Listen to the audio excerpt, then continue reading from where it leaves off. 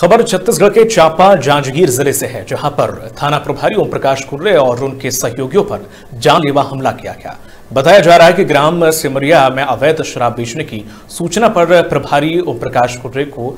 जानकारी मिली थी, जिसके बाद वो अपने सहयोगियों के साथ सब इंस्पेक्टर शिवचंद्र के साथ पहुँचे और सेमरिया गाँव पहुँचने पर गाँव कि दर्जन भर शराबी तस्करी करने वाले बदमाशों ने उन पर हमला कर दिया, जिसमें पुलिसकर्मी घायल हो गए। घायलों को इलाज के लिए बिलासपुर रेफर किया गया। फ़िलहाल पुलिस ने मामला दर्ज करके जाँच शुरू कर दी है।